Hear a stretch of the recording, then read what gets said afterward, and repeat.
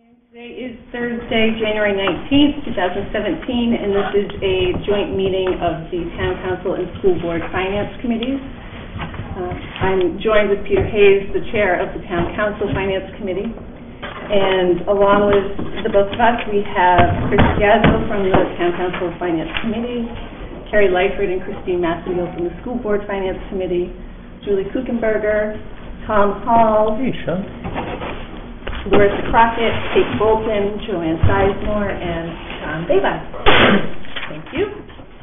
So we're going to jump right into old business and sort of go through some of the stuff that we did last year just to bring us all up to speed. Kate has handouts hopefully for all of us. Um, We'll review and reaffirm the norms. There's not many new people at the table, so it's pretty straightforward. Um, if anyone has any adjustments to them, feel free. to Speak up. I'm happy to read them for people at home, um, and we'll also post these on our website. Uh, so the, the Joint Town Council and School Board Finance Committee norms.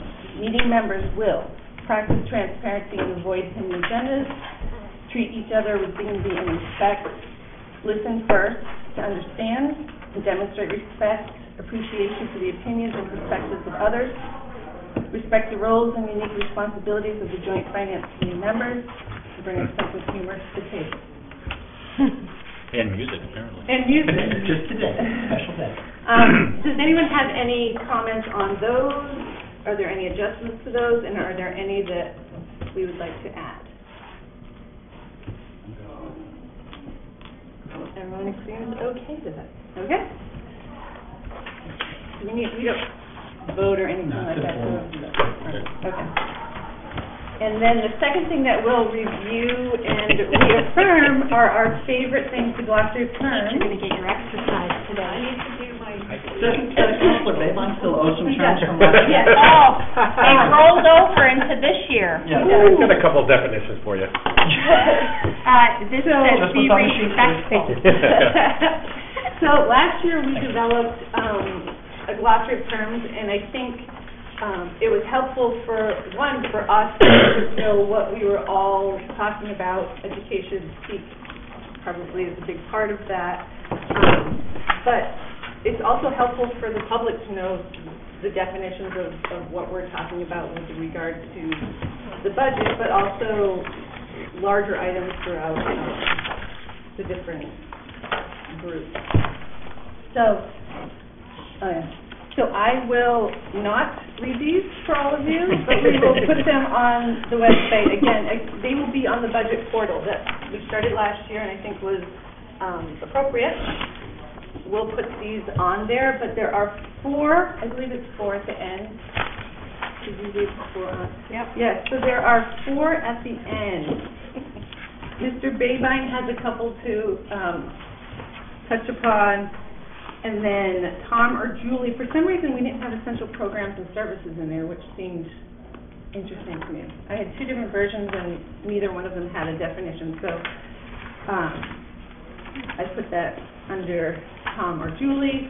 And then we also have cost of living um, expense, which I'm happy to take on, if- there aren't any volunteers. Unless Mr. Babine wants to read. I'd be happy to. Awesome, thank you. Maybe different results. Does it make sense to incorporate uh, the final list or the working list, whatever we're going to refer to it, as part of the budget document as well? Put it into, as a... That we present publicly? Yeah. In the, in the budget book, there's that nice little, um, section at the very back that has supporting documents. It might be a Right. good spot for that. That is later. That was our goal, to try to get it in last year for So I think it's important as we, we obviously, you don't have to come up with any others that you think need to be in here, but as, this is a living document, so as things come up, there may be more terms that we want to make sure we get in there. Um, We obviously don't want it overwhelming, but there may be some that we've forgotten. And it is a Google Doc for the Challenge, education for the side of the house. Um, but I can also email it out in a Word document for those of you who don't have Google Docs. that aren't Yeah. agenda there. I have, but Compatible IT across the town.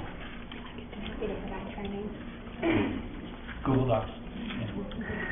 You gotta get on Wi-Fi first, that's right. So, thank you, Shawn. Moving on to new business. Review and approve proposed budget adoption schedule. Do you want to sit sit in half? I just said to Tom, I need to get my steps in. And this is a day of sitting in meetings all day. I don't mind running around the room. So this Well, she's- calendar, is a li- oh, go ahead. While she's passing out, can I ask a question? Of course. And I apologize for coming in a little late. I just want to make sure that I haven't been adopted by a Super Hazel's family and that the name on the invite list is changed to Sean Babine. Right. On the what list? The invitee. The agenda. My mistake. Not that I don't like it. I was wondering when you were gonna. Ooh, I thought you named, maybe I was. I was gonna say, he's a little bit busy now doing a re, uh, a reunion of Will and Grace, but I wanna make sure I wasn't adopted uh, without knowing about it. I was gonna ask for a couple, I was gonna ask for an allowance. My, my apologies. Oh, wow, look at that. Thank you for that correction. Another reason someone else should do the agenda. And Joanne They needs just to mount. be on, but I was here, so I. I feel like this is a Covered. Um, so the budget calendar will look very similar to what you've seen in the past. Jenny, do you want me to, um, explain why there's a, a new little shiny red thing on there? Yes. That's, that's kinda cool. Um, I just thought it would be fun to throw some random colors on the calendar. Throwing us off. Um, just to take a step back, what we did was we took a look at what, uh, was on the calendar last year for our joint meetings and the public meetings and the things that we did, um, as a group with this team, and we basically took everything and moved it forward to that same date in the current year. There were a couple of places where that didn't work very well. Um, the February school vacation is a different week this year from what it was last year, uh, because of the way the holidays fall, so, um, we shifted the dates in February. In March, we would have had our, uh, meetings this year on the 9th and the twenty-third, but because we have our community dialogue on the school side on the 9th, um, that's already been scheduled, we shifted that to the second and the sixteenth. And the reason that the second is all fancy and red is that, um, you'll see a note down on your right-hand column. There's a room conflict with this space on March second that was already booked for a large training. And, um, so the alternatives are many. We could say, let's move our smaller group into a different venue. Let's reschedule the March second meeting to a time when we can have this space. Or let's decide that we don't need two meetings in March because we don't have a lot to dive into yet. I mean, I, I can see that, that there's plenty for us to talk about. So I'm not sure whether, um, a cancellation is, is a good idea at that point, assuming that we don't have the, the actual budget document to talk about. Um, but that's why it's red. It's a point of discussion, and, uh, we sort of need to make a decision. All of the other dates that are on here, um, Colette or, uh, Kelly have already secured space for us here or wherever the appropriate location is for meeting. Look at that, I've created silence. That's hard to do in this room. I know. Processing. Um, Thinking hard. I personally hesitate to cancel it, um, because we've already sort of reduced the number in January and February to one meeting of the joint group. Um, that's not to say that, you know, after our February meeting, we might say, we really only need one. Right. So I guess I would prefer that we find an alternative location, at least for the second, and then after, or at the meeting on the ninth, we can decide. whether we do need to have that, yeah.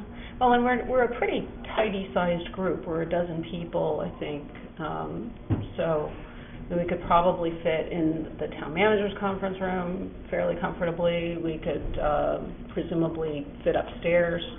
So I think, you know, if that's, if that's the will of the team, then we can find an alternate spot. The only thing I would note is, um, I I think there's some value in having these taped and, and broadcast. Right. There's some limitations Yeah. as to which station to facilitate that part. And actually, I think, um, although not maybe applicable to the school board, I believe our town council rules or maybe ordinance says that um, the town council's finance, work of the town council's finance committee has to be published, even though this is a workshop, because we are a majority of the whole council. I think that we need to at least tape it wherever we are, you know, so for future showing, just to be in compliance with any critics. Do we not have portable cameras? Yeah, we can certainly tape it, Yeah. uh, we can't broadcast live, whether that's an important feature. Are we broadcasting live now? Yeah. Yes. Okay. So, um, I know we have the capacity to bring mobile camera stuff into various rooms. Um, I, I don't, I don't see the necessity to have live broadcasting, as long as there's a public Yeah, record of there's it, a it's record, recorded, that's Somebody all that can matters. go and take a Yeah, look And it at gets it. replayed on community TV at some point, uh, in the rotation, I think we Yeah, should, and- we should meet our obligation, I think, with that, right? Just from experience, certainly video, capturing the video is easy enough. Um, the audio is sometimes a challenge. Can be a That's little The real funky. benefit in having it in this space is that the Yeah. audio is good. Yeah. Um, But. We can Well, we, we also could change the date, and we could say, well, you know, for that particular meeting, we're going to have it on Wednesday or Friday, so, um, it depends on which is more of a hardship for people to try and rebook a time that's been set aside, or, I'd prefer to keep the date and time and just change the venue if we could, but it's just my personal preference. I agree. I like that too. sounds like I'm seeing a lot of nodding on keeping March second and then just finding an alternate place to do it, so, mm-hmm. and making sure we can record. Where? I may look at the library space as well. It's a nice. Oh, that's a great idea, yeah. During Good. We'll find your space and make you aware of what that is. Perfect. Um, and so were there any other things that stood out, Kate? I'm trying to think, April twenty-sixth is the budget forum, which we're gonna get to further Yeah, down. that's, that's one of our agenda items, um, and actually, that's another place where I spoke with Kelly this morning. We haven't really, um, we haven't officially secured the space for that. That's the one thing that's sort of in an odd place, because we were having some conversations in our small finance committee about, um, you know, was that the right venue? Were we, is it appropriate? Is it, right, and the pros and cons going around. Um, so yeah, the, the budget forum at the high school is gonna be a topic all by itself, and how that gets organized and, and where that is. Um, and then the other ones, the other meetings are either, um, school board or town council schedule-driven meetings. We do have, uh, the school budget workshop, which is a school leadership council workshop put on for the school board. If I say school one more time, I'll win a prize. Um, that's on Feb, on, uh, April seventh. And, uh, as always, we love it if town councilors can come to that. Um, I think that, you know, we've had folks be able to attend that. Um, that's the one that's a roundtable, and the leadership council, which is the school principals and the central office leadership team, will kind of go around the room, give a little state of the state kind of presentation in the context of, you know, where are we now and what are we asking for in the budget? And it's an opportunity for the school board to really dig deep a little bit, find out where are the challenges, what is it that we're asking for, what are the resources that we're looking for. Um, and I think, you know, I know that a number of people at this table have been to that, and, and I think it's, uh, it's of value. Certainly, the, the board, I think, appreciates it, and the leadership council appreciates the opportunity to be able to reach out and tell folks what's really going on down in the trenches. Um, Jody, is there anything else on here that's peculiar? I guess we could say that the meeting on the tenth of May, that's an off-schedule meeting. The joint town council, coun, boy, I really can't talk today. Town council school board budget workshop, um, is, is in the middle week between our two formal, um, council and, and board meetings. And that's, That's typical. We, uh, though the council could hold, they ho- have to hold a public hearing before they take second reading. They typically separate it, the two. So we try to fit it in that middle week. Yeah, and that, I think, again, was an opportunity for us all to sit together and ask questions and, you know, air any concerns, um, be able to go a little bit deeper than you do in just a budget presentation. So, um, again, I think that's something that we've really found to be valuable. get everybody at the table together. By that time, I think this smaller team is usually sort of, yeah, we get it. Um, But it's an opportunity for the other counselors and the other school board members um, who haven't really been digging in quite as deeply as we have to, uh, to ask their questions and to be brought up to date. So Can I ask a qualifying question? So, uh, I know later we're talking about the drivers, which will, um, in essence, um, shape the conversation uh, as far as what we're looking at going forward. So, one of the, just to share, one of the comments that the councils received at the finance committee level was, uh, from one citizen, was uh, questioning why we needed to have so many meetings. And I was a little surprised, uh, given the comment, um, because they focused on the fact that per law and um, even our own ordinances, um, council does not participate in the allocation of funding or this, the uses of those funds. It's purely a net basis. So keeping that in mind, having seven meetings, there's also one meeting in here that's not listed, which would be the night that the town council's finance committee meeting would have the, invite the school board or the superintendent to present um, the budget to the finance committee. There's that formal process where, um, unfortunately, it's literally, you sit on one side of the table, we sit up there, and then it's presented to the public as part of a, as a department of the entire town. So I don't know where that's going to fit. um, So I I just want to keep that in mind, because it's usually, uh, so our council and finance committee meetings are, I already forgot, we had one last week. Tuesday? It's Thursday. Thursday, sorry. So I just want to make sure, so there's, there's an eighth one that's going to be in there too. Yeah, you're right, Shawn. On one of my calendars, the 700 I have here, um, I have on Thursday, April 13 at 2 p.m. I think that was based of- on a a sheet that uh, Colette had, or she was kind of doing the same thing that I was doing, just taking last year's review calendar and shoving it ahead. I'm looking to see if I actually have that, but um, she had kind of laid out how the town council finance committee's review dates would look if they were replicating last year's So the question, schedule. the question you received is why do, why do the school board and town council finance committees meet Yeah. so often? So- Oh. Not not necessarily, it wasn't, by the way, it wasn't a question, it was a comment suggesting that because of the authority that is given to the council, or the limited authority, i- is it really necessary for us to have that many meetings? Um, And so we all um, opined and said, you know, uh, this is what kind of caused it, so forth, and I'm not going to go down that path. Um, I just wanted to bring up really, um, one, I mean, there's already seven meetings, but there's really an eighth one that's in here as well, because it's the formal presentation of the superintendent to the finance committee um, as a department that's outside of this informal process. And I would suggest, just because of memory, um, last year, we had, the budget was presented on the first of April. Mhm. This year is the fifth, so we do lose a little bit of time.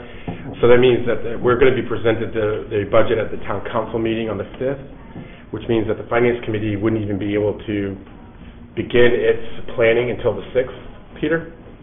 Which means the thirteenth would be a little quick to have a discussion that early about one de- particular department without, you see what I'm saying? So it might have to be pushed out maybe a week or so. Yeah. But I think Peter, I think the finance committee needs to look at this is The sequence. as quickly to Yeah. to give everyone here a chance to know when that's going to happen. Right. As I'm looking at, at my notes on here, Shawn, I see that the, Mm. on the 13th, we have just sort of, it just says joint meeting. Right. Um, The notes that I have on another form is, would be that that could serve as the finance, Yeah. town council's formal review, but that obviously could be pushed out or changed depending on what your, Right. your whole As well as the department review time. schedule looks like. So it was more informational to to ask Peter to kind of look at that, because we'll need to coinc- uh, coordinate that with you to make sure it's, Well, the normal process is the month of April is when the town's finance committee really kind of digs deep, and we've put together a tentative schedule and Oh, assigned okay. some folks some, some slots. In fact, I have the school, uh, scheduled for the Thursday the thirteenth. Hmm. Oh, that's, So And that's really- where, that's where I got that. To meet the needs of the town's finance committee, those meetings will be held from six to eight in the evening, as opposed to daytime meetings. yeah. So now that I think about it, Kate, I think actually maybe we might have started this where we did to have a joint session before the actual presentation during the day, Hmm. way back, when we first started. I mean, this is th- year Yeah. three. Well, I just want to make sure, uh, because, um, uh, so I'll complain about the 2 o'clock meeting, but, so this is 2 to 3 for a workshop, and then we're doing 6:30 to 7 for the formal presentation, so just, that's why I'm bringing it up. Well, the, the difference being the town's finance committee Yes. is six to eight at night for all of its work, including budget review. I think it's a point for some discussion. The joint finance committee traditionally has been meeting mid-afternoon at this point, at this time. I know that's inconvenient for Shawn. Whether we continue to is probably a point that ought to be talked about and decided today. Right, and I think, because I know last year, we did that presentation, and that was also fairly early or late afternoon. Yeah, I So think, maybe I this think we didn't kind happen, of you were know, the- sort of this folding the two joint together. workshop didn't Things are different. I think we folded the two together and just said, this is our workshop for this week. Um, But then that would mean that on the 13th, if that's in fact the date that we're scheduling, that we would need to have the right time on our calendar. Right, and we wouldn't have this We wouldn't have the 2 o'clock meeting. We Well, that's wouldn't what I- have the two o'clock yeah, meeting. yeah. We would not have the meeting. just- Jody, if you remember, it was you, George, and Donna were at the, and sat at the table. Right. For But the I- presentation. But we didn't have this meeting. Yeah, that's what I Right, meant, yeah. I like you guys, I don't want to meet twice and talk about finances. We're good. We're talking about dropping the two o'clock. On the 13th. On the Meeting on 13th. thirteenth? So on the 13th, Make instead of 2 o'clock to 3:30, I'm going to make a note that it's, I think you said Six. six thirty. it's the town 30. council's formal review, and it 6:30 to starts at 7:30. 6:30? Well, Yeah, our meeting starts at 6, but. I think Right, we're but on for 6:30. Six to six-thirty is MIS. You know, so we give them an hour. Oh, you're giving us now?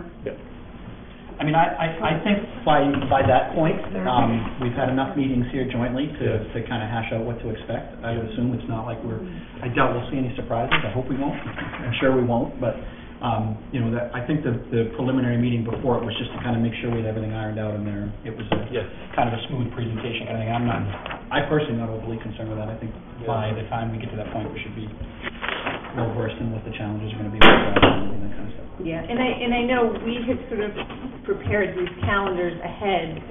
It's easier to cancel a, cancel a Yeah. meeting than it is to try to find a time for all twelve of us to meet. So I think we slotted in those times just to make sure we had a space. Yeah. So I'm hearing that I should edit the entry for April 13. It's still a joint meeting, but it is the Town Council Finance Committee's formal review meeting to meet their obligations Yes. in the budget process, and it's not at 2 o'clock, it's at 6:30 for this group. Well, and it's just, it will just be Julie, you and I, Um, Do you, right, with the And, presentation. it's- and the chair, It's whether you like. and and your chair, if she'd like. That's up to you and who would. I'm just saying, it's not a six, yeah. It's you're- not. Unless you really want to be there. I'll, I'll make a new label for it that says something besides Joint Finance Committee meeting, because that's not really what it is. Yeah. But we're using that, presentation. we're using that time, uh, time slot. Okay, cool. Um, were there any other items on here that need to be shifted or Adjusted? adjusted? I think apart from the budget forum, which again, we're supposed to ta- tackle as a separate, uh, Yeah, and I was looking at the agenda, and it looks like we have that as sort of an overview of upcoming meetings, topics for upcoming meetings, but it may be worth sort of just touching upon um, today. kick around some Yes. Okay, so discussion on communications and the budget portal and how we sort of felt that went last year. I think we all agree that the budget portal was more convenient for people and that Mhm. everything lived in one spot. Um, But we continue to talk about communication and how we get what we know out to the public so they, they know it and understand it um, easily. Yeah, and I think as, as we had sat down and talked, and we kind of recognized, it's certainly a need of the town council, there's gonna be an effort around communication. How do we get the message out to everybody? What are the different ways of doing it? And I think you had shared, you know, similar issue, how to, you know, with Facebook and all the different mechanisms, whether there's a way, again, as we try to tell one story about one budget, does that create some real opportunities for us to kind of share in some way that communication process? What's the messaging, what's the vehicle? So I think, you know, that was sort of the intent to see what everybody thought about. Is there a need for that? Is it something we should spend some time trying to flesh out what it should look like? And I think that was sort of the genesis of I know, I the was work. trying to think back of what we, what we discussed on communication, but I Tom? Yeah, I was just saying, we had a standing agenda item here again, the meeting recap, the takeaways and to-dos. I think that might be a- an opportunity after each of these meetings to say, you know, is there something we talked about that we ought to be sharing? Uh, Whether it's notifying of an upcoming meeting or what have you. So if we be mindful and have that conversation on a consistent basis, uh, it's not always intuitive to me what you think's important that other people know. Uh, So I think if we talk about it as a group, that would be far more helpful. I, I think from a social media platform too, instead of using that to message, I think we use that to direct to the budget pool. Right. You know what I mean? Instead of saying, you know, here's our Facebook post and here's the discussion of it, the Facebook post is simply, listen, for details on the budget, go to the budget portal. And it might be, might, that message might be better served around a particular point of interest rather right, than like a constant, constant message. um, Go back to look for budget information. If- If there's something that really we want to drive people back to, Sure. I- let's use that opportunity sparingly um, and when needed, as all the time. And we talked about um, different forms of communication. We talked about trying to um, maybe use papers more, or is there, um, did we talk about community TV? We didn't, I was just, go- I was just thinking the same thing, I think we should do something, because you can always do a slide that just simply gets repeated, because they have these, you know, they, they Right, transition slides. through, that has, now, you don't want to put too much information, there's some of those slides, I'm like, you need a, and it lasts like ten seconds, and you need a magnifying glass, so you got to be uh, cognizant of that. But, you know, maybe have a couple of slides, one has the schedule in it, you know, key parts of the schedule, or maybe just the budget portal site, um, you know, tagline, or whatever you want to call it. Uh, Maybe do something around that, and then have it on, you know, cable TV. Even one of those, um, there was that real nice little one-page summary sheet that uh, Karen put together for us last year as a handout. And, you know, it was colorful, it was like, you know, here's your budget, all in one, one page with some charts, and something as simple as that Yeah, would um, actually be discernible on, uh, on a TV scroll. Yeah. So I was looking more at communicating where people can find resources and not necessarily data. Um, I don't think it would be necessarily appropriate because there's a larger context of the data that's in a graph, even if it's pretty, and um, I'll, but I'm, I'm talking more, you know, a, um, the public hearing is on this date, or the, uh, the first reading is on this date, and that's all that's on there. And this, the public hearing or the public forum um, that we're going to have is on this date. Uh, Questions, um, send your questions to Jody Shea at skywardschools.com. You know, some, you know I'm talking about? Something Right. more like that, rather than, you know, we can, after the fact, there's always the, after the fact that once it's passed, then we might follow up and take that stuff down and put up, here are the results and what got passed at high level. Right. And again, a link to the portal for, for the full budget, if people want to dig that deep. I like the idea of even promoting these live meetings so that Yeah, folks can exact- be yeah. watching them at home if it's convenient or accessing it at a later time on the slides. Mm-hmm. So do you want to have, who's going to put those together? That's always the challenge with this group, who's doing the work? Chris, are you able to give some thought to that, and maybe we can work back with some suggested pieces that uh, would be good for that venue? And I, yeah, and I'm happy to, um, like, help you come up with, since it's only going to be three or four slides, I Yeah. think. Do we just Um, make them in PowerPoint or something like that, and then we Yeah. Yeah. I also, and this, I think it's the right time to mention, so Tom and I had talked a couple of weeks ago about one of my roles being to try to communicate budget things as clearly. So great. I have sent out, um, kind of, hey, I'm available if you want to talk to me to the Lions Club and, um, Rotary, the over fifty-five luncheon I'm attending next Monday. The library is providing me with a table and a coffee pot for a listening hour, and I've been invited to story time to hang out with parents while their child is listening to stories. So, um, I can provide you guys with feedback. I'm really going to listen. How do you want to be told about the budget? How are you looking for us to engage with you? That's And I can report back what they, people have said. Oh, nice. That's great. That's helpful. Yeah, that, that might really fuel some ideas about where the gaps are, and what we can do. and- Yeah, an assessment of how they're already engaging and what they would, how they would prefer to engage. Yeah, that's great. Because, I mean, I think we all know there are certain ways that we get our information versus the way you get your information. So I think you're probably going to end up hearing a variety of ways. But if sort of a trend emerges that can help us sort of direct our, our focus rather than just trying to react. We can be like the president and tweet it. I could. No, no. Hundred and forty characters. We're not. But-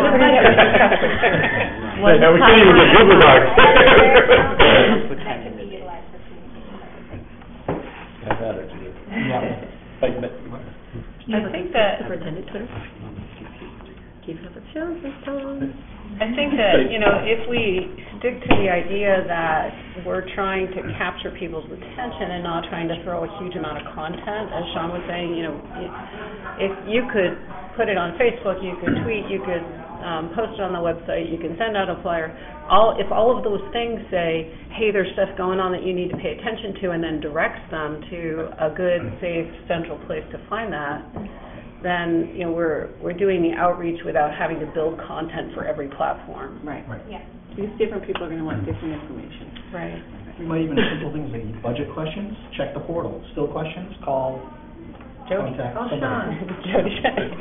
You know, one, but one thought. that Sean Hayes. That, that's kind of, that's. Oh, Sean Hayes. You know, but that, that kind of assumes people are gonna come. That, that they're, but, but, you know, one thought is, and we had this last year, I mean, our past has been, our challenge has been, we go through this, this, we're a mess in this process.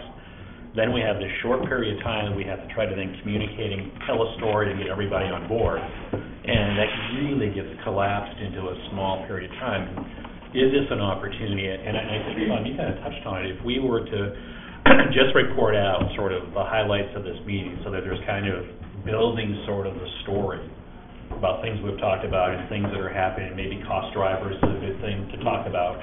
So it kind of just sets the expectation, so by the time we get there, at least the people that are, you know, that are really interested in this have been kind of brought along. So I don't know if there is value to that, that we do push some stuff out in some way. And, you know, I understand it can't be too much, but I, but I think that's a real opportunity. I, I think just for the sake of, I mean, again, you don't want to overburden staff with constantly having to create a slide of the week or something like Well, that. yeah, no, But I, sure. I, I think, you know, I think that's, that's uh, perfect for our budget portal, because that's just a website, right? Mean, it's a webpage, basically. We can put all kinds of Yeah, different information up there, it doesn't have to be just a PowerPoint link or whatever. Yeah. I, I think that, I'm almost kind of looking at the, it's a general marketing campaign, right? Getting people to say, Yeah. you know, hey, if you want to engage, in, instead of, you know, the pa, the challenge we've had in the past of one camp over here saying one thing and one camp here saying something, and a third saying completely different. Here's, here's the central point for all the data and information. That should, that should hopefully start the discussion. I don't, I don't want it to end the discussion, but, you know, look at that, you know, but the same, we always run into the, how much information are you required or responsible for giving people and, and when and how? If we dump everything onto that one site and say, you know, go there and look at it, and if you still have questions, obviously, we're all available, or somebody's available. Um, I just worry about, you know, overtaxing, it's not a problem to create a, a- a slide every week, but add that to twenty other things or something that's going on, and then keeping up with it and that kind of stuff, so. Does the, I know the, I know the answer to this, does the town council have a communication group, like who does your Facebook posting? Uh, Maybe it doesn't need to be, you don't have to tell me the person if you don't have to tell me the person, but if, like, I think, we all know we're meeting here today, but to Peter's point, a lot of other people don't. And so if, if that's even the first sort of post, it doesn't have to be crazy where Yeah. we're going into depth of detail, but hey, we're kicking off the budget season, we've had our first joint meeting, and, and here's our schedule, or Yeah. here's. I'm even thinking just calendar. the quick, and what's nice about Twitter is that you only have 140 characters to say what was the point. So today, I think, right now, if I were to like send out a tweet, it would be like, joint budget committee focuses on improving communication. Like, that's kind of the takeaway. Right. That's great. That's what's nice about it, is that it's quick, it's digestible. Because the budget portal is awesome, but it's also overwhelming Yeah. Um, for the sure. average community member. Well, and it also requires that that person go and find it, where the, I mean, what we struggle with, we, we're challenged with creating all this fabulous data, making it available in one place, and then having people, how do we let them know it's there and So- engage them to the point where they want to go find it? I think a couple things. I mean, you know, Twitter's great for that. The challenge we're going to run into is not every town's on Twitter. Right. So we have to reach across multiple platforms in multiple Right, right. ways. Um, and not everybody's on the internet either. Not everybody's watching TV. You know, that's why we, we really struggled, I think, with getting the right mix of medium out there so that we can cover the most people. Um, and, and I think, um, you know, I, I, I- think it's great to have that messaging out there. I'm just always concerned about, um, I, I like the, the narrative kind of budget we have, where you can start out reading the paragraph and understand the concept of it. And if people want to get down further into it, they certainly have the option to start digging in. But even if we use that similar format on the budget portal and just say, hey, here's, here's our, it's almost like rough drafting the, the, the budget itself before we plug the numbers in and say, here's our, we, we're developing the narrative as we meet, here are the budget drivers, you know, and a little explanation, put that up on the budget portal. And then you can tweet out and say, hey, you know, just finished up looking at cost drivers today, check out the budget portal. Yeah. You know, um, and then we could throw a Facebook post out like that, said, hey, you know, great meeting today, whatever, you know, check out the, inf- the new info at the budget portal.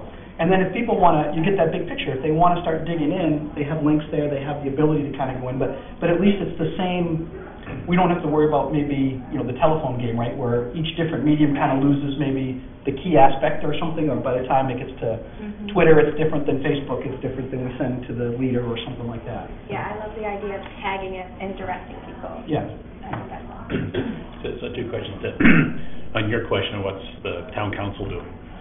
Uh, A committee, Kate St. Clair is, chair is just starting up around communication. So that's starting up, so it'd be really good for us to plug into that, and maybe think about how they're gonna do it and say, this is a need to, and see where that goes.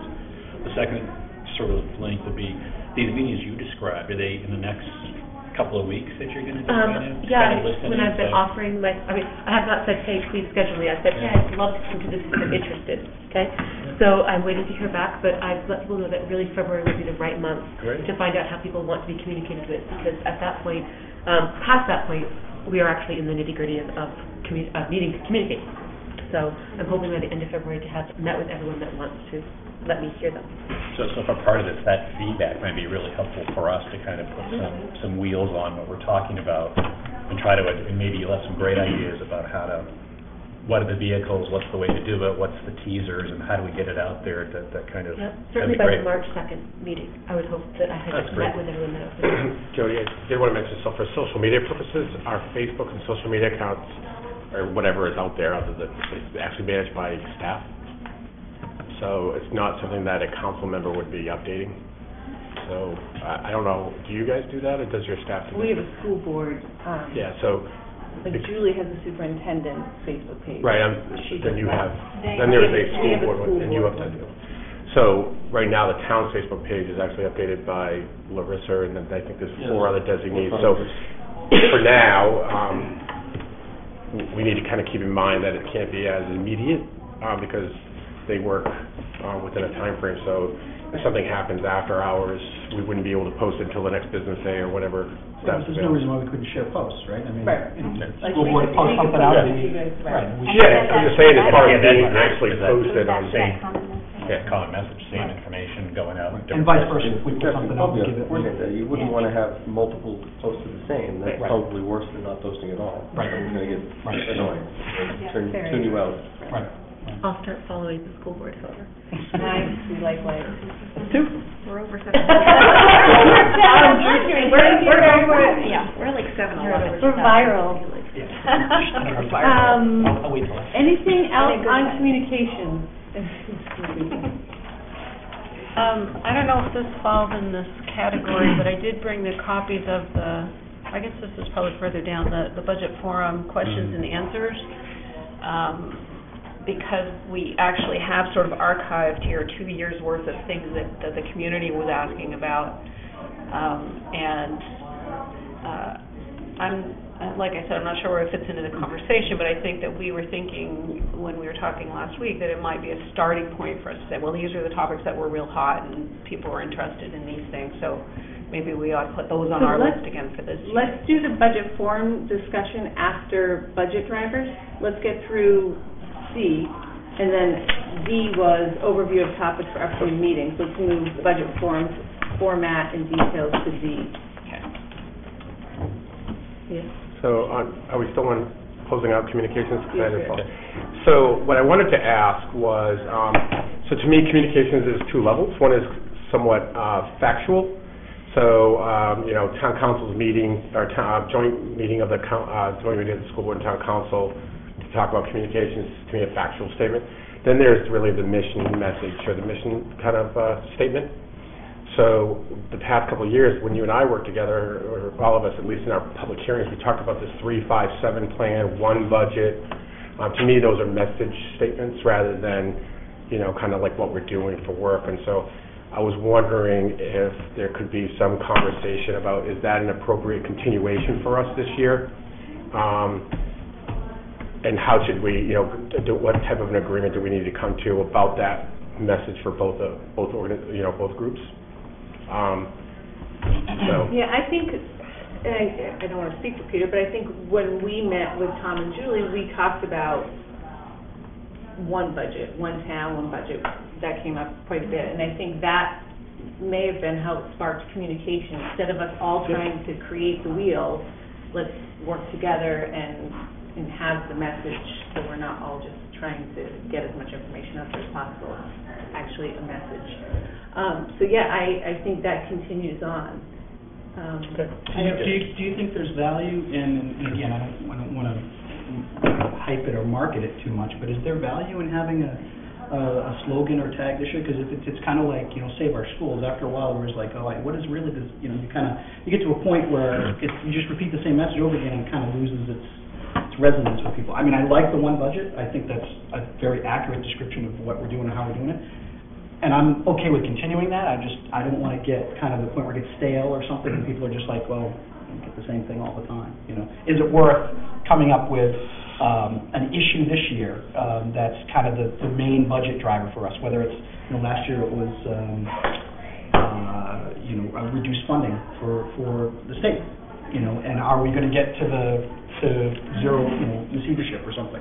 You know, do we want to pick an issue or, or one thing and it really kind of say, that's really what we're, what, what our main driver is, pick a main driver or something and build a message around that. I- I'm just throwing it out there, I'm not I think, suggesting it I think away. Shawn's point is I trying to agree. build continuity year over year, and instead of one budget is, is that mission statement. Yep. We're all in this together. And, and I feel like it's only been one year of that sort of slogan. I hate the word slogan. I know, I Yeah. It's branding. Yeah, it is branding. It is Yeah. branding. It was, un- it was unofficial, I think, in year one. Last year, it became part of our presentations. So, but, but both are hitting it on exactly where I wanted to take it, and that is that, um, I look at this year as, um, so it's year three, and what we originally started out as talking about is, let's set up a precedent on how we relate to each other, as well as the data and the facts and the glossaries and things like that.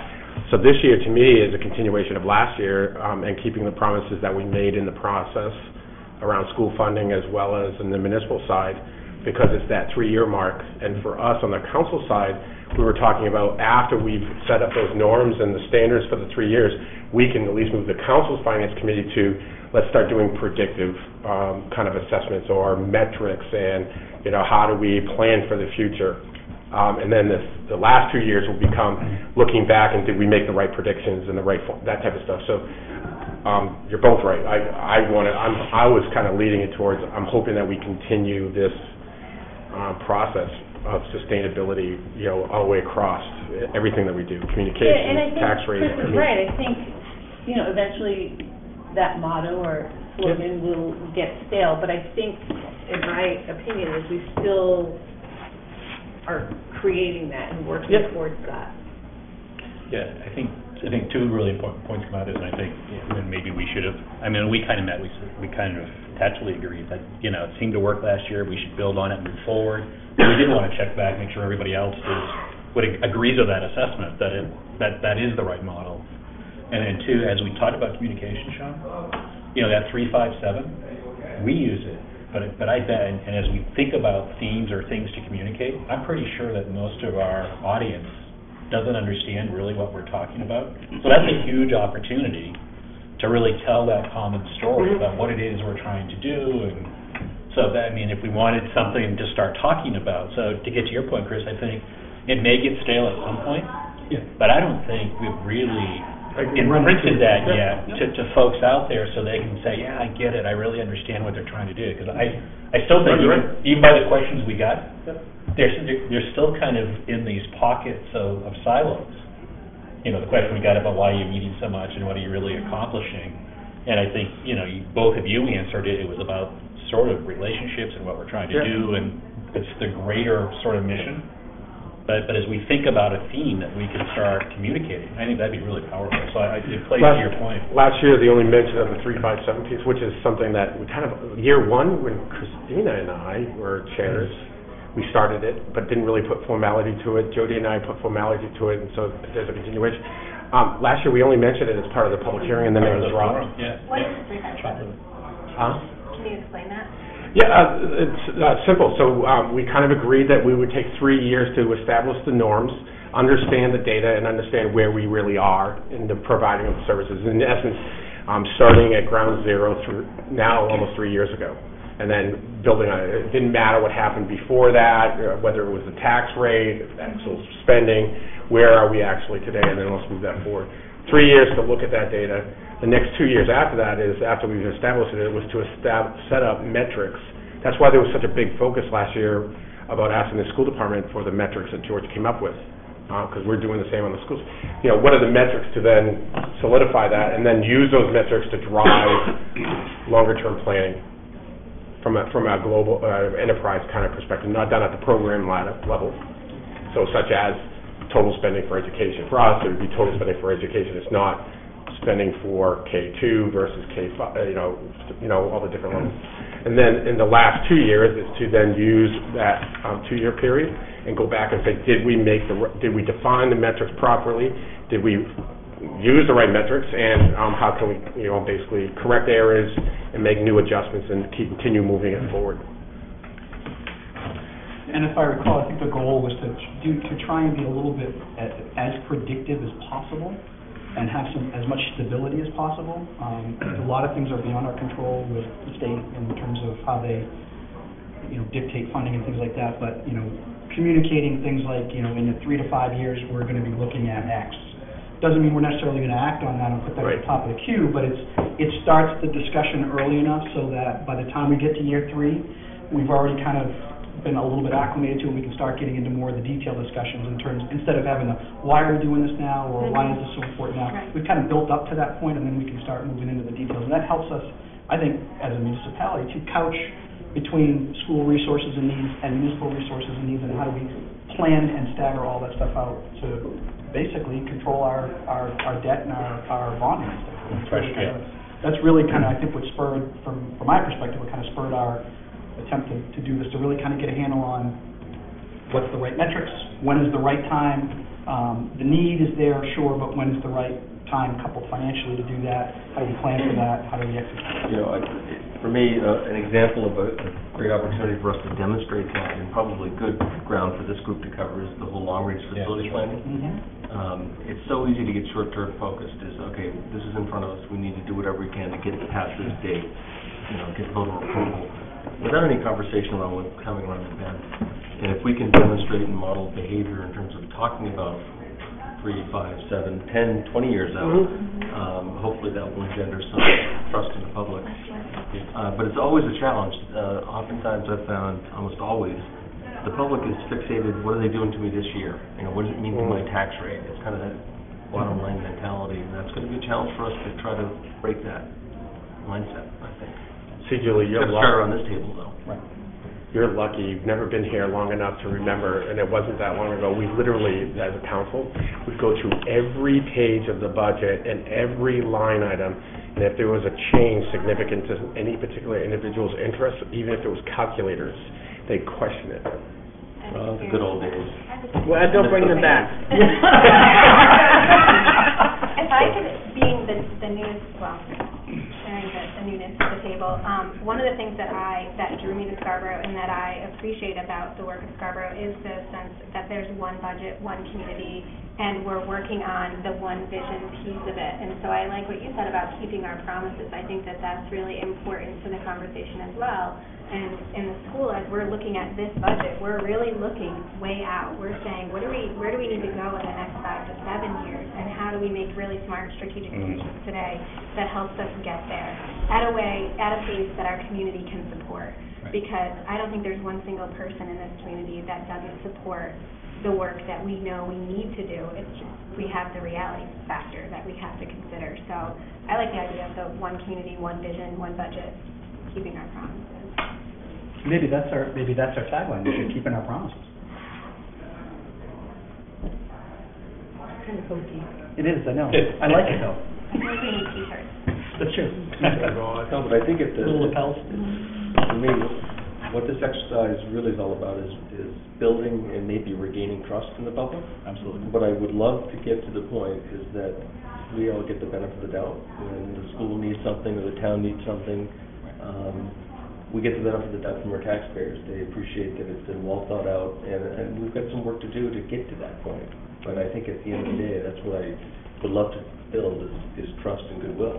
Um, Even if they don't understand an issue, they trust that we're, Right, I mean, you're all the elected officials that can make decisions on their behalf, but for the, the validation vote, of course. Um, And even that, with the validation vote, wouldn't it be nice to be in a place where the voters have confidence that by the time you've done your job, the budget's put in front of them, that they support it? That would be, that would be. That happened last year. it did, yes, it did. One time is not a trend though, Shawn. We, we need to build on that. Keep it up, I'm gonna pitch you or It's the beginning of a trend, though. The beginning of a trend. Gotten. So I think we're good then. It sounds like communication's kind of a work in progress. We'll get some feedback. Would you say three in March, first I meeting? think absolutely, by just a Yeah, meeting on and we can, yep. Great. So that brings us to discussion of anticipated budget drivers.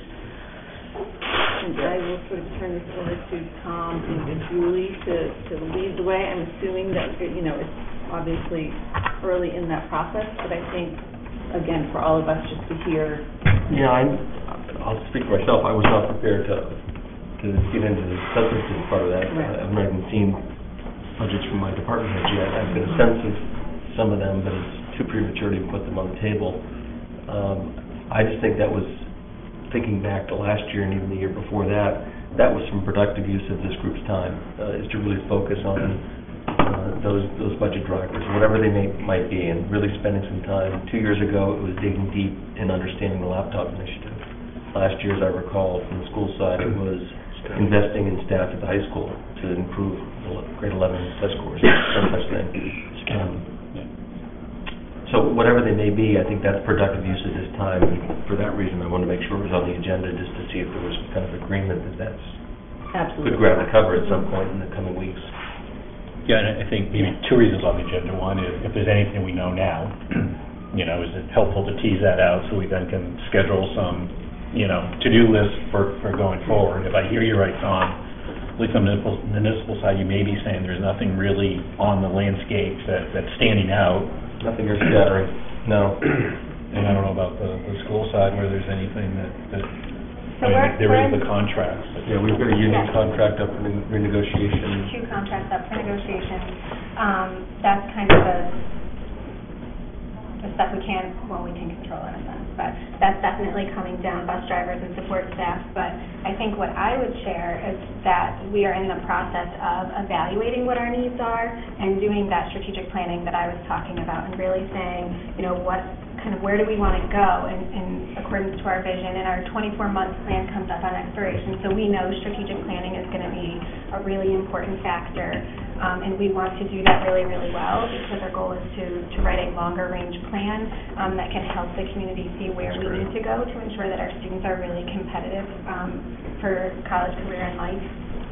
Um, and so that's part of what we're doing. Another thing that we're doing on the school side is really looking closely at our personnel and thinking about how has the work shifted and do we have the right people in the right places based on the skills that they have and also the needs that um, the district has. And so the principals and the uh, directors are working really, really hard and closely together to make sure that we're having a K-12 perspective on our needs as a whole. So that's a work in progress, and I would just think that it's important for the community to know how much time and effort has already gone into the budget process on the school side um, before we're making any decisions. We're kind of just putting everything on the table so that we can make a longer-range plan. You know, going back to communications, I think just putting out that piece, that you are coming up with a long-range plan, and you're doing that work now, goes a long way to build that trust that Tom's talking about, that by the time we arrive at the budgets, folks know that that stuff's being actively considered, because that's one of the questions we get. That's, that's great. Yeah, you almost hope the budgets are kind of afterthoughts. It's where, you know, the planning's already been done for this year's budget, so really looking at where we're going to be in three or five. you know, what I mean, you get to the point where the budgets are just kind of like, yeah, we already know that, where, where are we going, where are we headed? Mhm. Um, eight hundred pound gorilla in the room, anything from the state? No, that's the elephant. I think that, I don't use elephants anymore for other, obvious reasons, sorry. no, no political commentary. Um, the state is, again, uh, the governor's budget is looking at making adjustments to the EPS formula. I think that regardless of what specific tweaks are made, the news for Scarborough will be the same, um, because The same meaning, will, Bad. we're set The to news lose will be another bad. million, or? Uh, it will still be bad. Well, I mean, this, this won't be same, like, we're not getting the same that we got last year. My sense is that unless the pot of funding is increased, which is the current battle around the three percent and the, Right. you know, Mm. the, uh, school funding increase, that Scarborough is certainly not going to see an increase and probably see a decrease because they're gonna be dividing the same pot or, you know, similar pot, and they're going to be trying to achieve some equity with some of the less, um, fortunate districts. So, yes, I think that the, we'll see, we'll see a reduction. I would be grateful if we got the same money. Sure. Um, and I think one of the things that this team can review and articulate for the benefit of the public is the strategic planning that we did last year with the Wentworth funding and releasing some of the money that was intended for debt service in 2016, so that we now have a much larger fund balance to carry forward with a specific intent of cushioning any reduction in outside funding. Rough calculations, um, for me, last year, and I'll revise this and refine it a little bit, but, um, I think if we lose another million bucks, we're at minimum receivership. That's, that's the real Absolutely. question, Yep. because that's, you know, we were talking about that kind of soft landing was, was, was part of the budget discussions last year about how long it's gonna take us to get to minimum receivership, and, You know, You Until know. we put a million bucks in the bank and hope well, for but the no, but I, best, but yeah. yeah, I mean, I think that, that, you know, there's a, there's a silver lining in every cloud, and the silver lining is that stabilizes our budget, for Right. lack of a better, That we're- outcome. We don't Um, have to contend short with that volatility every Correct. year. I correct. think that, um, the, the statutory definition of minimum receivership is, is complex. It's basically a certain amount per pupil. Mhm. That's just sort of the, the baseline, that's the minimum that the state can provide. And then there's some, uh, further allocation for special education, there's some further allocations from, for some other little really specific things. So that last year, when I did some rough calculations and checked in with the state, um, we were basically halfway there with the subsidy we were getting in seventeen, so, and I, I think that we're still probably on that same pathway. Um, unless there's some radical change in the funding, the, the dollars available to distribute across all the districts in Maine, Scarborough is not gonna see any bigger pieces of the pie anytime soon, so. And I think that's an important narrative to keep in front of us as well, because that's, that's certainly been a, a significant driver in the past. Um, whether that continues to hold its significance, I guess is, we'll see, but. I would just add a few things. Um, one, is no matter what happens with three percent, we know we're not going to see anything in FY eighteen. Right. Um, that's been really clearly communicated, and, you know, whether or not it'll happen for FY nineteen is still a big question mark. Right. Um, so I think that's important for our community to know. And also, in the, in the. Will you clarify the three percent, because I don't know that. It's the question two, right? Right, the question two. Explain the. Well, no, just say, I would, Well, because I don't know that essentially- the public knows what you're talking Sure. about with the three percent. So when we're talking about three percent, we're talking about question two, which, um, what, what that did was say that anyone who earns over, any, anyone earning over two hundred thousand dollars would be taxed an additional three percent on the income that exceeds the two hundred thousand. So if you made, um, you know, two thousand, or two hundred and, Right, like, so it's one. yeah, I can't even use numbers right now, but then it would only be on that one hundred thousand that was over the, you know, or that one thousand that was over the two hundred thousand rather. So, um, I think that that's important to think about, but again, it's, you know, funding is still not at fifty-five percent for education generally, so we do get a very small amount. And, um, it's, it's at the point for us where we really just need to think about what is it, you know, what is it that our schools need, and that is really going to continue to become the responsibility of us at the local level. When you look at what the governor is proposing in his biennial budget, um, he's proposing that all system administration be locally funded. So for us, that's about a million dollars of our budget currently. Um, and And when you look at how much money we're receiving from the state, if I'm right, Kate, it's about Eight cents on the dollar this year. so, um, you know, it's, more and more is gonna be pushed back. There's also conversations about doing away with MLTI, which is the laptop initiative, where currently we, uh, partner with the state for our seventh and eighth grade students. And so that's also something that's gonna have to be absorbed at the local level. Um, and as part of our strategic thinking, some other things that are coming, um, with this potentially with this biennial budget are um, increased class sizes and uh, ratios, student ratios. So the way that uh, the state calculates that is really important and will be something that we'll want to define through this process so the community really understands when the state's talking ratios, they mean this. When we're talking class size, that means something different. Um, That's an important clarification. And uh, so all of those things obviously are going to impact the way we utilize our personnel and um, the strategies that we put in place. But, um, you know, there's, there doesn't look like much relief coming for us. And I think that we just kind of have to accept that because it can be really distracting to keep going back to what we're not getting um, and focus on what our kids need and how do we ensure that they get that.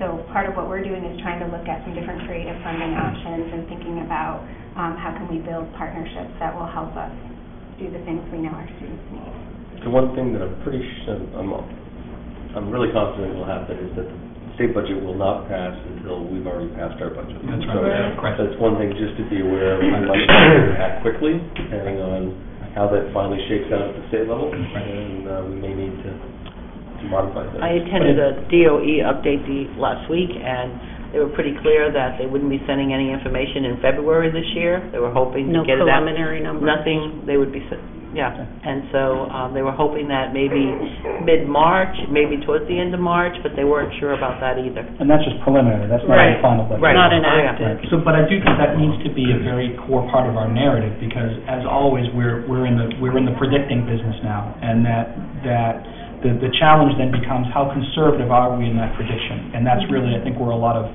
stress and consternation comes in the community, is are we being over-conservative with assuming things, or are we being too aggressive in, in how we predict things are gonna be done? There's, you know, I mean, there's always that sweet spot in the middle, we just have to really, I think, over-communicate why we're presenting what we're presenting Why and what those drivers are.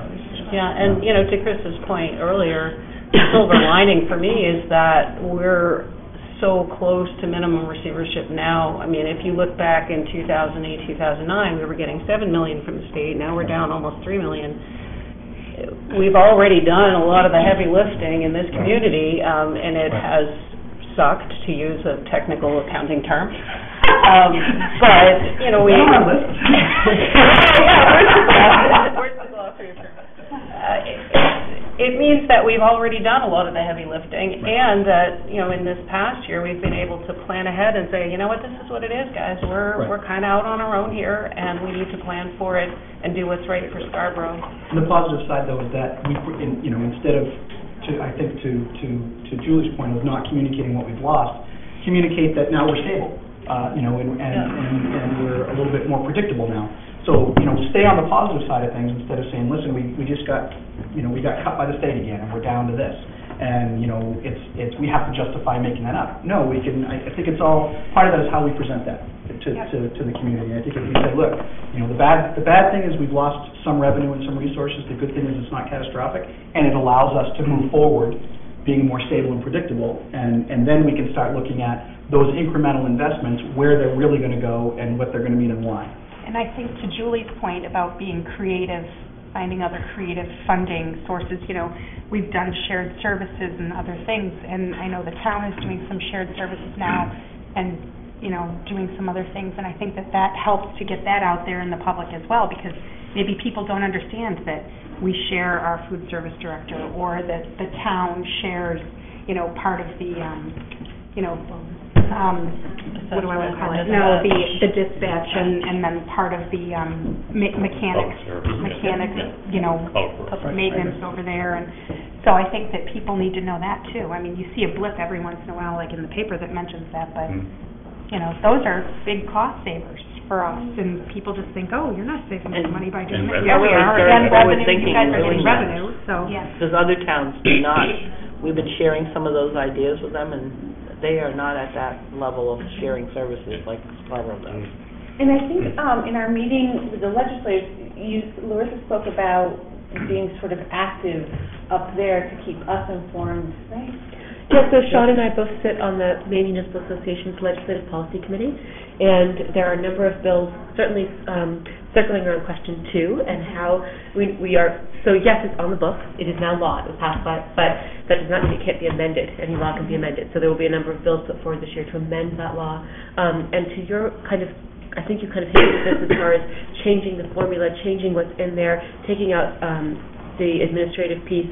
One of the bills that we, one of the bills that the Maine Municipal Association is putting forward themselves um, is discussing how can we stop that? Like, where can we draw these lines? Like, stop re, um, defining special services, stop redefining, like, the rate, the, the, the number of, is it one point one, you know, units that we count for a special needs child? Is it one point three for a foreign language speaking child? Like, how to, stop messing with that, and stop reducing it further so that your fifty-five percent is on a smaller and smaller and smaller pot. I would So, yes, being active. Such as Yeah. funding for teacher retirement? Right. That switched two years ago? That was Absolutely. nice. I- And that Yeah, keeps it's a nice- And that's, And they still haven't hit fifty-five. So being more active, like having Shawn and I report back to you as the school board and to the town council, and if the, those council, if that council and board wish to be more aggressive with their state reg- representation, that's of course their choice, but certainly communicating what's happening at the state level that truly is not poor management on the elected officials Mhm. and staff of the town. It's simply, there's, this is a state issue. I was there to add that also, um, they're looking at recalculating the special education funding formula, whatever that means. But, um, we know the costs are going up and up every year because the needs are increasing. Um, and the, the types of services that students need are, need are increasing, so that's also going to impact. So Clarissa, sorry, is is there, is there any um, collaboration between Maine Municipal Association, let's say MEA, or Maine, uh, you know, Principals Association or something in terms of this legislation at all? I have not heard that from MMA, but Okay. I, we have a meeting next They Thursday. communicate with each other, you know, as friends, but that's Yeah. about, the Because lobbying and the we're- work is done separate. It sounds like Main, we're having main school common management ground. would be MSMA, Yeah. probably be the one that, I'm sure they've got their, yeah. Well, I I know everybody kind of does their own thing, but it it strikes me that, you know, even from the Maine Municipal Association, it- it's impacting all of the towns. It's not just a separate, education is not a separate issue when it comes to municipalities. We're not, we're not completely divided. We- We're all integrated and symbiotic. So I'm I'm wondering if there's any outreach or any coordination of activities saying, it's not right for the, it- it's not, it's not the approach the Maine uh, MSMA wants to take, but, you know, they'll partner with MMA to say, listen, this is not good for anybody, you know, this is, and kind of have a coordinated effort kind of. I can certainly ask about that um, Okay. at next Thursday's meeting and report back to you on the ninth of next month. Okay, perfect, thank you. I was wondering, Tom, if you've seen anything about revenue sharing for the town um, in the budget proposal? I haven't seen anything detailed. The only thing they've talked about is, is they've dropped it from, what, five percent that we normally get from something down to two? And they're talking about never bringing it back up to five. That's Right. Historically, it was five, uh, in the It's last budget, it currently- went back to two, and it was supposed to go back to five. There's legislation pending to keep it at two, so Extend that to. we'll see no harm in the next year's budget, because we're already adjusted downward. Right. Um, And that is an issue that um, MMA LPC is also taking up in the committee that I'm on. It's a big, big issue. Um, I wanted to ask actually two things for, on drivers and, and, um, I don't know, they're not necessarily cost drivers, but it's, um, they're budget drivers. So first, I don't recall, um, when we initially approved the laptop program for the one-to-one, is this year three or year two? Because I was just wondering if we could get a status update on, because I know that there was a, sig- there was an investment that needed to come, I think, in year three.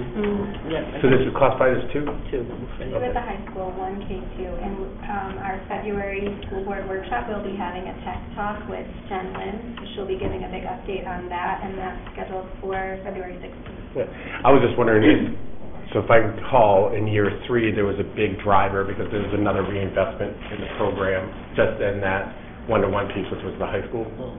I Right. think that the, the timing for that, Shawn, and I can go back and pull the, the Pull the information for document. this team, but I, I think the timing on that was coordinated so that when it was time for the high school to have its normal tech refresh Yes, in our that's what- five-year yes. schedule, Yeah. our four-year schedule, Four-year schedule. that it would be the high school's year. Right. The big um, investment coincides. And that, that I couldn't investment remember, I would be just part wanted of to, the normal te- yeah, schedule. that's right. Um, But, yeah, I can make a note of that. No, you don't, it's not even relevant this year, it's okay. Um, I'll get what I think I need out of the uh, MLTI elimination discussion, I think is what I really focused on that part. The other piece that um, was a significant issue last year that needs to be at least uh, discussed is the fund balance and the strategy regarding use of fund balance. So why don't we, I think that's obviously a topic all on its own. So why don't I add that to, um... Okay. I'm Subsection looking. budget drivers. Well, it's, it, I think it's a subsection of revenue loss because, or revenue Like, put it under D. stability, Right, the- because Meeting topic. I the use of fund balance in our world is typically in order to offset. Yeah, so for purposes of, of uh, putting it on the agenda, it could be C or D because it's, it is, it will be a budget driver as far as if it absorbs other losses in other areas. So I think understanding not only to make sure everyone first is on page on where we are in the actual history regarding the issue, and then talking about the strategy, which is also about promises um, that we've kind of talked about going forward on its use. And I'm talking about primarily the uh, Wentworth bond conversation that we had last year. But overall, I don't want to just segment that out, but it's overall fund balance strategy. Perfect. All right, so we're continuing on, we're at three twenty, time check. Yes. Um, so budget forum and details, I think, um, maybe we'll keep this to our discussion on what we talked about, and, um, at our next meeting, we can sort of firm up if, if you all have other ideas or ways to add to what we were talking about. But we obviously all agreed that the budget forum should continue, but we talked about if there was a way to make it more um, attendee-friendly, I guess I'll call it. You want to start milking cookies? Being nice. Yes, Peter makes fabulous Everything started with cookies. cookies, but We have enough down there.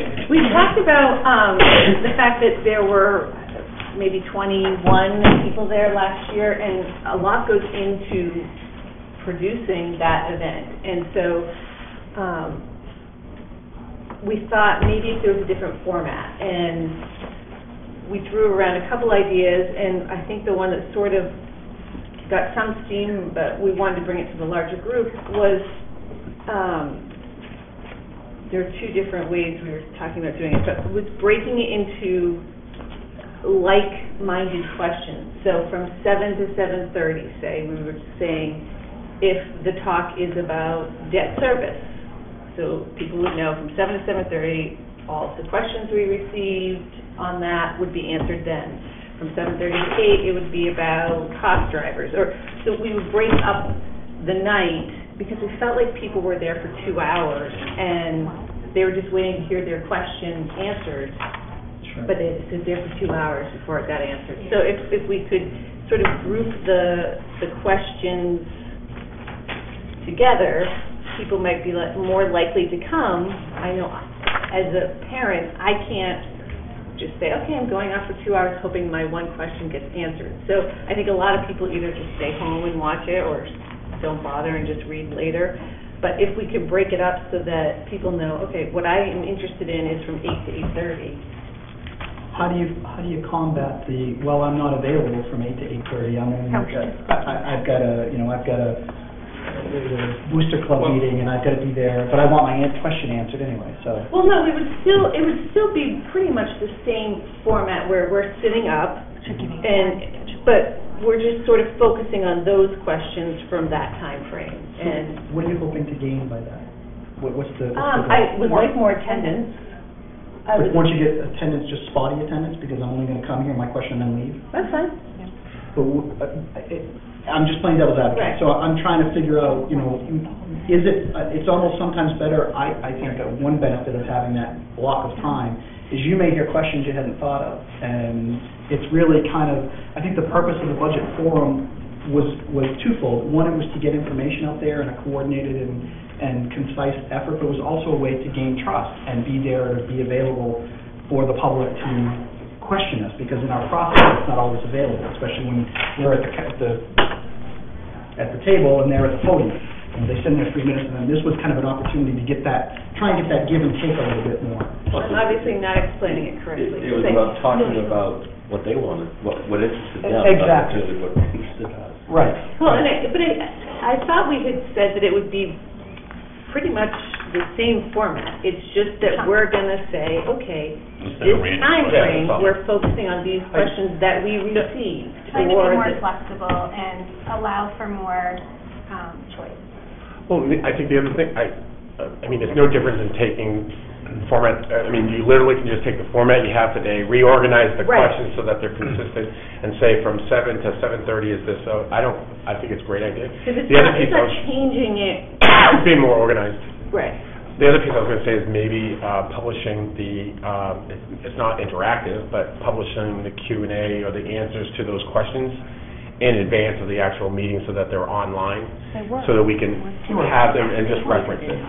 So I guess my Oh, we question. did. Questions Yeah, that were ans, the questions that were asked in advance by people, Right. they were online, To the extent we could. available Yeah, to the with the extent we answers. I forgot that, yeah. Before Yeah. the, before the. Yes, So- and it was only anything that was asked What more can you that do? night. Well, well, that again, came I I out. think, I think I'd I'd like to kind of bring the discussion back around to what's the purpose of this budget forum? Is it another opportunity for us to just communicate and do an information dump? Or is this an opportunity to engage in a discussion with the public, and allow them like a Q and A kind of, because I think when we started out, Tom, if I remember a few years ago, we were just like, let's just open the doors to all questions, whatever they want, we're just available. No format, no nothing. You just show up, ask any question you want, we're here to answer whatever you have. And we've kind of, you know, we're, now we're putting structure which I don't, I'm not complaining, I'm just saying, I, I think it's important for us to decide what we want to accomplish with this budget forum and not just I a think check off in the process. My, my recollection, my, my thought was that it was an opportunity to make ourselves available to talk about what they wanted to talk about, and consciously not have a bunch of talking heads providing PowerPoint presentations, me being one of them, it uh, seems- really just being up here and available. Right. to Right. It- Seems like you could accomplish both of those things, though. Um, you know, if, if you still have the sort of freewheeling, ask your question, we'll respond approach, but if you are able to put a little bit of a label on it that, you know, in this hour, we're gonna be focusing on this topic, maybe you do accomplish the same thing. And you do have, And I- you, I you think- do lose the people coming and learning something they didn't think of. Well, they can still, stay- they, we're not kicking anybody out. People can still stay for the full two hours if, if that's what they want to I do. think Mr. Sorry. Friedman did that. He Yeah. he took Yeah. the, the questions and kind of lumped Chunked them them, into. each, that's what the moderator. But I don't think we ever said, okay, we're gonna discuss the budget at Right. this point, or the debt. Right. So let me, let me throw this by, throw it by you guys and see what you think. What if we, um, um, you know, um, invested a little bit in having it, let's say, in the, in the Wentworth cafeteria, and we had, uh, Mr. Esposito do something, and we had the, you know, remember we talked about, uh, when we first came on about what they do in Cape Elizabeth, where they had the, the seniors will come in, and the, the string section will be there playing, and the, and the Key Club kids will come around and be serving the seniors, and they put on a type of spread. What if we did something like that to try and pull, I mean, I'm not talking about a seven-course meal, but you have some light snacks or something, and you open it up and just to get a draw, and say, hey, you know, have a little bite, kind of almost like a community forum. Yeah. They come in, you know, have some, even as simple as, you know, milk and cookies or whatever it is. And, and, and, and have that welcoming to come in and say, listen, this isn't just, it's not just to talk to, it's not just a bunch of talking heads giving you info. We really want to hear from you, we really want to engage with you. And, you know, let's, let's come and break some bread and talk about it, you know? Did we talk, or was I dreaming this? Um, there was some, some thought perhaps of doing it like you do your community dialogue, Yeah. where you're able to let those that come define the agenda, and then you break it off Organize into, and have an opportunity for much more in-depth conversation rather than a standard response. Yeah. you know, Thirty minutes, Can- thirty seconds, we did and move on. get- Go ahead, Liz. I was gonna say, just, just as kind of a process check, because probably some people have a hard stop at three thirty, I'm imagining. So, so I think these, these were meant to be topics for upcoming meetings, so we can get into a little more detail. So I think y- we have suggested, Shawn suggested adding a future topic would be some conversation around fund balance. Mm-hmm. And the Wentworth debt kind of falls under that, Wentworth debt. Yeah, the whole, that that conversation, and I think we also, you know, at some point, we probably need to talk about budget targets as we get closer, so maybe the way to leave this is, you know, if folks have any other issues, just popcorn them out to us about if there's anything we should put on the list. And what we're trying to do is come up with the agenda for next time, so of these, can folks just kind of let us know which ones that they would like to talk about next? Sounds like the forum might be one of those. Because it I- takes us planning. I would like to, I would like to add the, the, the state funding, at least a discussion on that, Yeah. how we're gonna react to it, and how we're gonna address it. So, so maybe let us know that then. And so, any ideas you have to add to the list, let us know. We'll try to build an agenda. At least I hear everybody say that the forum is one we have a lot of energy for. I do Um, think we should reserve that auditorium for that date, We have. just to have it. Oh, it has been. Yeah, I believe it has It has been, been. yeah. Um, I- I'll have to check with Colette, I know we went back and forth about Oh. whether that was a, but I think she, I think she decided she was gonna do it. And Okay. she would have reserved the high school. Right, which is fine, let's at least Just have that. hold so the we place have Go it. forward. with, go with the status Even- quo until, Even if you put the all-purpose room across, and you say, hey, come, have, have some snacks first, and then let's go in and have a talk, whatever, something. And then, so I think the last item was just a, a takeaway to do. I know we have one to do around communication, so we'll loop back on that. Both, I think, some feedback from you, and there'll be some feedback from whatever the town council first meeting of its communication piece will be. Um, any other takeaways and, and folks? Anybody? For me, the tweet or the uh, showcase uh, post might be, the budget process has started, and, you know, just get people kind of tuning in. We don't really have any substance to talk about, but, I can go do Stay that right tuned. now. you know, we're mid-January and we're already, Yeah. you know, First, first you down, put ready to go. can you send it to Larissa and Kelly so we can put it on the, that's on the same message? Sure. I just need to know the best way to Yeah. send these things. Sure. All right, thank Smoke signals don't count. So any other takeaways folks have? Uh, I Process personally was going to, um, connect with Vicki Cal from MSMA to find out about any conversation that happens between MMA and MSMA, so we can see if there is an, an opportunity for coordination there. Um, then also. And Elaine Tomaszewski or Dale Douglas, too. Okay. Those are- And, um, then I was also gonna make sure that when Jen presents on February sixteenth, that she talks about the tech refresh schedule, so it's really clear kind of where we are and what's coming down the pike for everybody. would there be any value, Peter, to, um, going back to last year's promises, as Shawn was saying, of, you know, the, um, the strategy behind the one town, one budget concept. I think there was some really good language in the PowerPoint that you guys used um, at the budget forum, Jody and and Shawn. Maybe we could just pull some of those slides and say, That's you know, good. do we want to Yeah. revisit some of these talking points or, um, you know, make sure that we're reflecting on what we said last year and and continuing keep that it- theme. Um, so I'm flattered. Um, and I'll give Jody all the credit because she did all Then you're not flattered. Um, but there, um, what I'm talking about is actually the promises are the ones that didn't make the slide. So last year, when we talked about school funding, we talked about funding the high school teacher situation, and then with the understanding that this year would be additional requests. So that wouldn't have been presented, I don't believe, as part of last year's Got budget, it, okay. because it was discussed here. I was thinking more of. So a- that's what I'm kind of looking at as part of the promises, because we talked about kind of strategic goals or strategic ways of getting to those decisions, and then putting to the side those other issues that we said, well, we can't do all of it at once, and I want to make sure that we keep those promises and bring it at least to the table this year, Right. which I'm sure is going to be part of the overall, yeah. Footnoted? Noted, noted. Yeah. But it- footnoted as if it, If it- over and over again, if it. Julie, would it support your to-do for me to connect with MMA directly? And so that the MMA is hearing, hey, our superintendent's chat- chatting with MSMA? Yeah. So that they're expecting each other's phone calls, we'll kind of make a play date for them? Yeah. Does that work for you? Sounds good. And I'll revise the calendar um, with our various notes, and I'll share it with this team, but I'll also post it and share it around with those who need to know. and I'll work on securing a space for that March second meeting. Okay, and I'll come up with Oh, um, a couple of slides and slide ideas for the TV and some. Is that ready to go out? And, and, and Jody, I did want to say, with Tom listening, um, I I also want to make sure, sorry, then Larissa, I wanted to make sure that the promises that we made on the municipal side are also shared, because this, you know, um, this joint workshop isn't just about education in schools, it's about the one budget. So I want you to understand any promises that we did on that side, because it impacts the total view of what we're looking at. We told them Which to promises? promises. Still hanging on, well. What he didn't tell you, is he didn't promise you anything, so he's gonna This is a very short agenda. I don't think I've survived fifteen years, I don't promise a darn thing.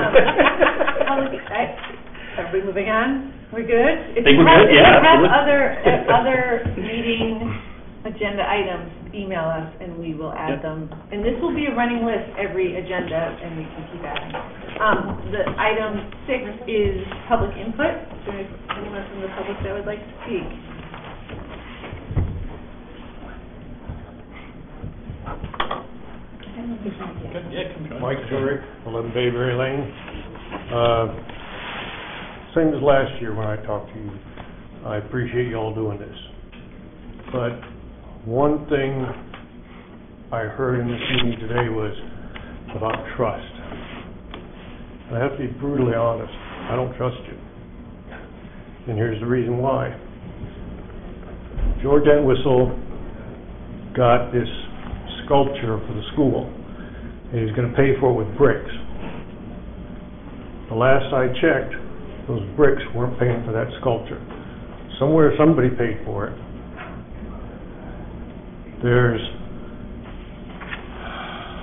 the school, schools need repair, schools need replacement. So does the fire building and the mm-hmm. police building. I see the chief of police standing in his office with a drain pipe coming down to a trash can. And this was in all the papers, it's a great emotional surge, we need to repair the building, we need to replace the building. One of the counselors said, I've been on the council now for six years, and this has always been part of the agenda, and we've never done it.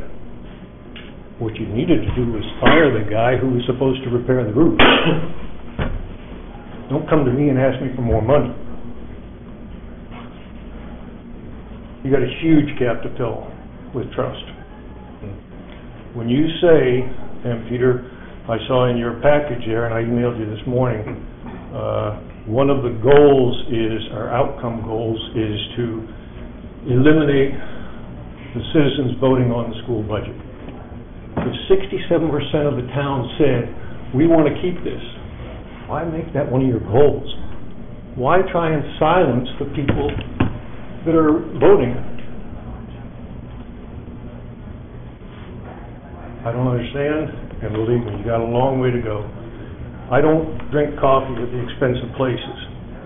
I go to one dollar McDonald's, and in there, what I hear is, we have two school boards and no town council. That's my input.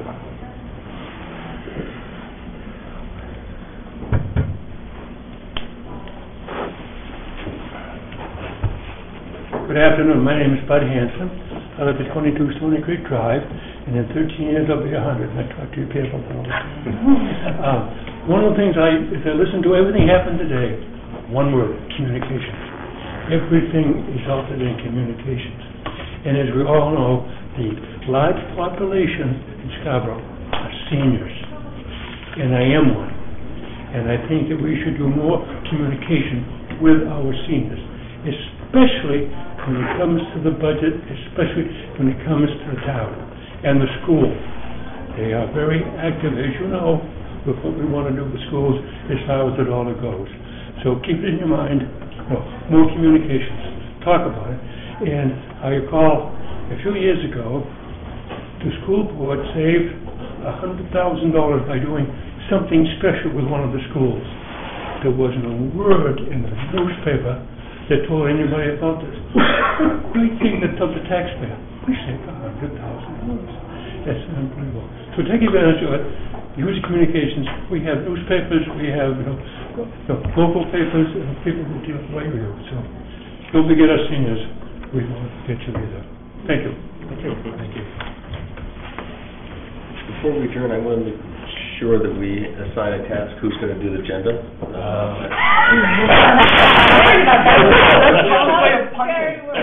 I'm not worried, I- if that's my Somebody other than responsibility, I need to plan. I don't know who's done it in the past. George essentially took the... I think took the George wrote it up responsibility. that Kelly created it. Okay. Um, so Um, if you guys wanna give me the bullet points, I can put it onto an agenda format. It might not be as pretty as Tom's, but I'll spell Shawn's name right.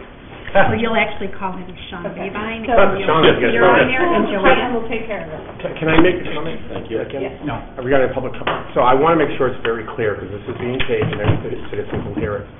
So the task that was, uh, the goal that was referenced was last year's goal because it was a referendum question. The town council goals, which is what that was part of, has not been set for this year. So I don't want citizens believing that they, we have some initiative out there to overturn what the citizens told us they wanted last year. And you It's a misunderstanding of what is actually occurring on our agendas. you can't. That question appears, just an FYI for the public too, that question appears every, is it three years on the ballot? Required by law. Required by the state, and so it won't show up for two more years back on a ballot. So for the next two years, uh, everyone in the public who is 18 years of age or older uh, is able to come and vote on that, once every three years. So for the next two years, everybody can still vote on the budget. And before we adjourn, does this raise a point of, as these questions are asked, do we want to document them, record the responses, and post them all? Because if, if one person has the question maybe similar to, to other people do, and, and, I mean, if that's part of the communication piece, right? You could have a running FAQ kind of Yeah. thing. Correct, Good yeah, idea, yeah. yeah. I mean, anything that comes up, so the question, to make sure we phrase the question properly, phrase the response, put it up there. If that elicits more questions, then so be it, but at least we keep that kind of running and get that out. Just a thought. I don't know.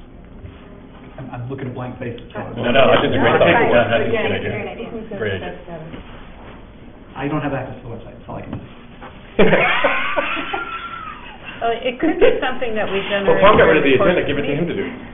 If we, if we jot down the Part of three meeting questions notes. that came up in the course of the meeting, and we, what our answers are, and at the end of the meeting, we append that to the agenda, maybe that's an easy way to do it. It would also though be We have- careful to not create questions where there was only comment.